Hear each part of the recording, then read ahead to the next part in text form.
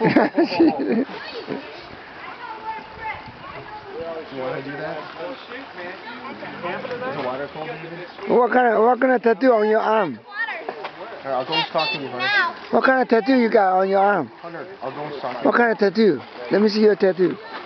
It's a dragon? Uh, no. What is it? Huh? Dinosaur?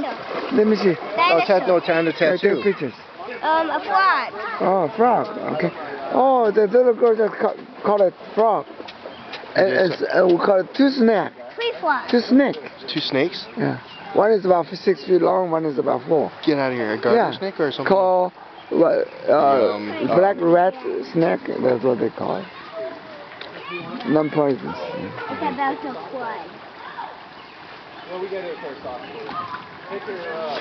Hey, David, did you have a dry clothes? Otherwise, you have to wear a against the warmer soon. It's wet. It'll dry. You don't have another pair of shoes? What? You only have those? No. Uh, you can wear mine. And the one shoes just fold it. Uh, tomorrow morning we'll be home. So. Oh, shit. Good job, Hunter.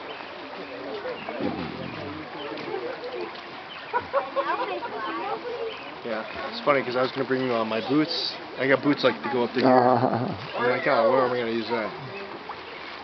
oh, ooh, ooh. Wet. It's okay. You might as well get it wet. You got extra. Yeah, we Yeah, have what shoes and extra, extra shoes. And go in there. You wanna go in there? You wanna go in the middle?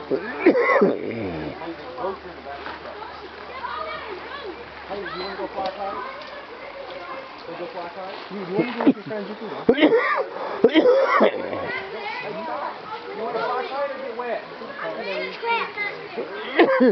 Yeah.